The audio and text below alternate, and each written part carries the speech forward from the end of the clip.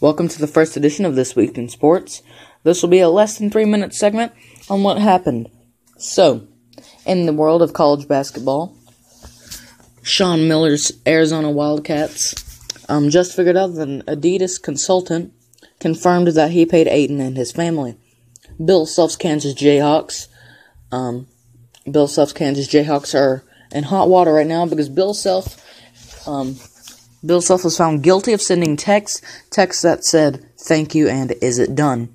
Um, the someone on ESPN who wrote an article about this, um, something Parrish, I think it's Gary Parrish. He was quoted as saying, um, he was quoted as saying, um, Kansas had to do this because the University of North Carolina, Duke, and Kentucky were doing it. Um, very, very debatable. Um, in the NFL, last night, the 49ers and Packers played. Packers win 33 30. Mason Crosby, of course, was a better than he was against the Lions. Um, he didn't have to do too much to be better than his um, very bad performance there.